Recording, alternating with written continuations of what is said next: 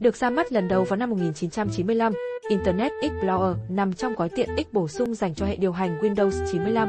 Trước khi những trình duyệt khác xuất hiện, IE là trình duyệt phổ biến nhất lúc bấy giờ, đã có thời điểm IE sở hữu tỷ lệ người dùng lên tới 95%. Vào năm 2016, IE đã tạm dừng cập nhật các tính năng mới, nhường chỗ cho trình duyệt Microsoft Edge. Đây cũng là động thái đầu tiên cho thấy Microsoft đã lên kế hoạch loại bỏ IE trong tương lai. Kể từ năm 2020, Microsoft Teams chính thức không hỗ trợ IE và Microsoft 365 cũng làm điều tương tự vào năm 2021. Kể từ khi các trình duyệt mới hơn ra mắt, điển hình là Chrome, IE trở thành một biểu tượng hài hước trên Internet bởi sự lạc hậu của nó.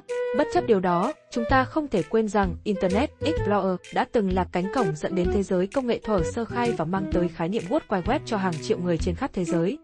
Internet Explorer cũng là phương tiện duy nhất giúp người dùng tải các trình duyệt phổ biến hiện nay, trước khi bỏ xó không sử dụng đến.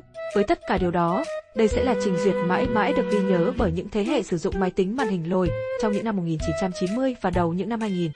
Microsoft sẽ chính thức ngừng hỗ trợ trình duyệt Internet Explorer vào ngày 15 tháng 6.